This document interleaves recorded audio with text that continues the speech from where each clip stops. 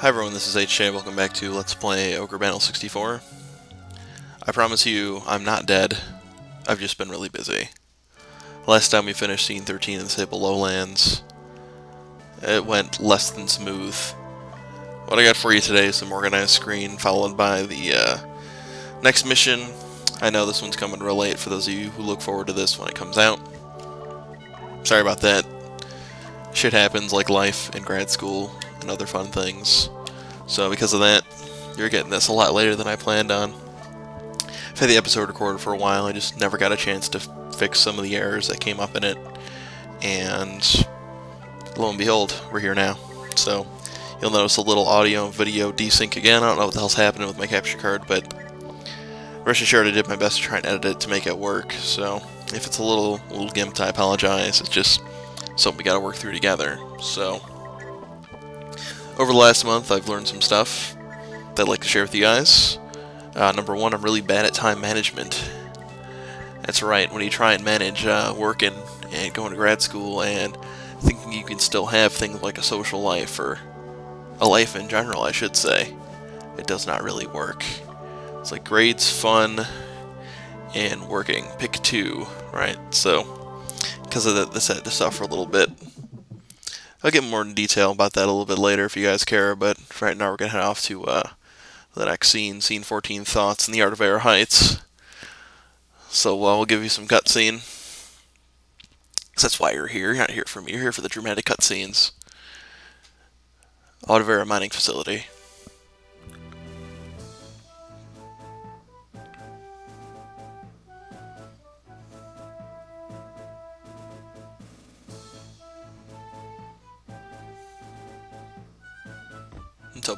Sync this up properly. We succeeded.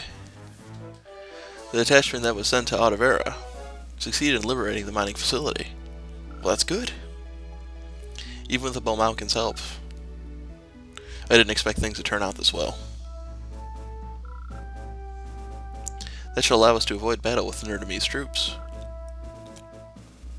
What's the status?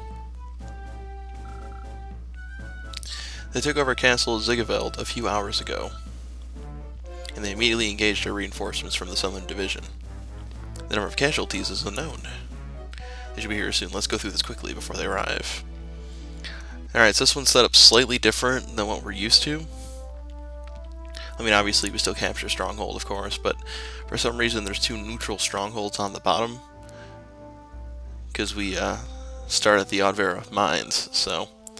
I don't know, maybe it's because of the way I did this, the order-wise. We did it differently than you're supposed to, so this is supposed to be easier since those two strongholds are neutral, but... I don't know, they don't really, like, rush in on you as hard, so by having those two buffer strongholds there, you can just kind of sit for a little bit and kind of take your time, so...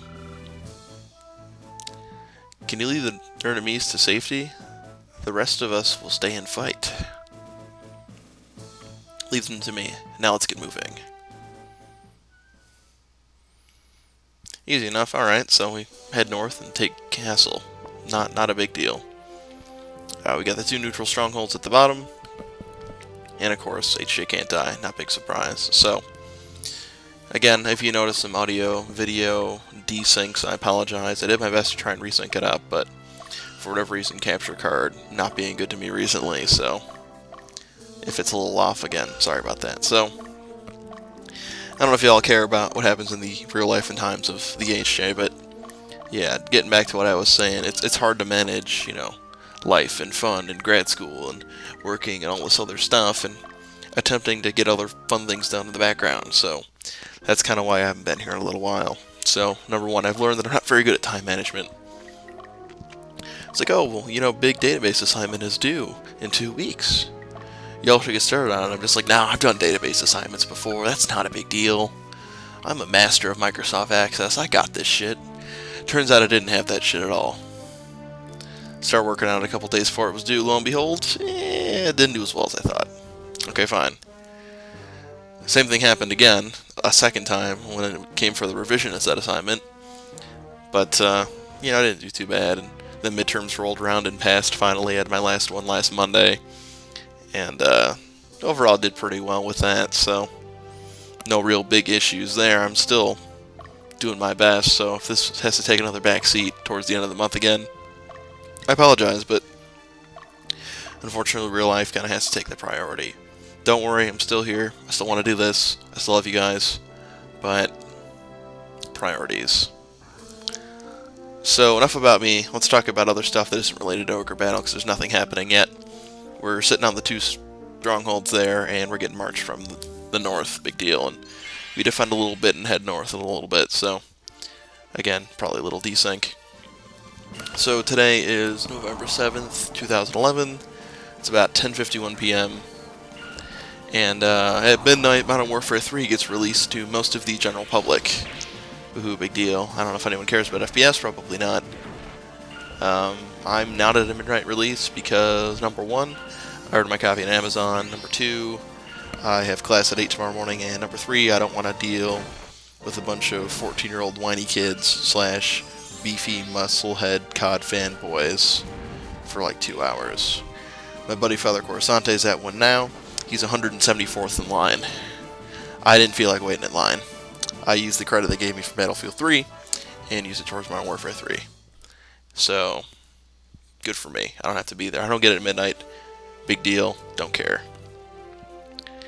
In the free time that I have had, I've played some Battlefield 3, and I gotta say it's a lot of fun. It's definitely more realistic than Call of Duty, but this isn't a debate for uh, for that. We can we can hash up about the realism of war games some other time, or perhaps in a commentary over a war game. But this is not a war game. This is Ogre Battle. So if I decide to do a Modern Warfare 3 gameplay commentary, Battlefield 3 gameplay commentary, or maybe a combination of the two, we can save that for that. But this isn't the place for that. So focusing back at an ogre battle, sorry I didn't focus in on it for the first seven minutes, but some stuff kind of came up. I want to know where you guys want me to go with this. I realize you want me to complete it, you know, that's fine. I do have hopes of eventually completing this one day, it's just real life kind of sucks. So, I mean, do you are you aiming for like a quick completion so you can see me finish it? Are you aiming for a more thorough completion so you can see more stuff? I have gotten requests saying, oh, well, you know, you didn't take care of X, can you explain it? Or, you know, talk about secret characters, or talk about this, or, you know, do you expect me to try and get all the Pedras, or look for all the classes, or just focus on kicking ass, because I'm really good at that, at least I like to tell myself I am. I'm really not. So, let me know where you want in that. I mean, I'd like to show you some of the cool classes, like I want to get a Lich real soon, and perhaps go for an Angel Knight or something like that. I mean, that's part of the fun of this game, the fact that it's not completely linear. There's a couple of side paths you can take, and I try and do all the missions I can show you, and you know, you can fight it in a couple different styles. You can go pure melee or pure magic or whatever else. So, if you're saying, hey, HJ, I'd like to see you try an X, well, then I'll do my best to try and get it done. It just, I realize that a lot of you probably have a lot more knowledge than me on the subject too, so don't be afraid to give me a nudge in the guiding direction if you think I'm being retarded. That's that's good too. So I didn't really uh, skip any of the battles at the beginning because I was too worried about the audio video desync. But after this episode ends, the video seems to be pretty much on par for the rest of it. So for parts two and three, you'll get the corrected audio and video without my editing sped up faster. So you'll still get the same three parts, but for some reason I kind of had to leave it unabridged this time, except for the beginning, and it still wasn't synced up right, so little skips, little glitches caused for a longer video for the first time through, so sorry if it's a little long, but that's what he said. Heyo. So yeah, you know, I, I, plan on getting most of the uh, the fun stuff to show you guys, and I think that's what a Let's Play is all about. Like, hey, this is some cool stuff you can do. You know, don't be afraid to try things your own way, but this is how I'm doing it. And I think that, uh, I can have fun trying it, at least. I mean, for those of you who still watch these, like, I've came a long way since the beginning, I can tell you that. This isn't just a little fun project I do on Saturdays anymore, well, it's kind of turned into that now, but we'll pretend it didn't. It's like a an evolving state of this is what's been happening for the last two years I can't believe it's been two years, too. My first video was uploaded in 2009, roughly around this time. I can't give you the exact date offhand, but it's been about then, and I can honestly say I definitely thought I'd have a lot more done since then, but laziness and real life and more laziness mostly kind of gets in the way, so that's what happens. Uh, I don't know if I got to mention this in any other videos, I don't think I did, but YouTube has actually offered me the chance to uh, receive monetary whatever if they can stick ads on my videos, which is cool. But the problem with that is all of my videos show copyrighted content. Yeah. So, like Ogre Battle and stuff, I don't own that. That's owned by Atlus, right? So I may own license to the game, but I don't own license to show the game to try and make money. And if I don't get approval to do that, and I say, hey YouTube, let's make money off of my videos, they'll go, okay, we're going to look at all the videos to make sure there's no copyright, and the ones that we do find copyright, we're going to take down. So I would lose all 90 videos, pretty much. I mean, I don't know about the Streets of Rage ones, but I know the Portal ones would come down.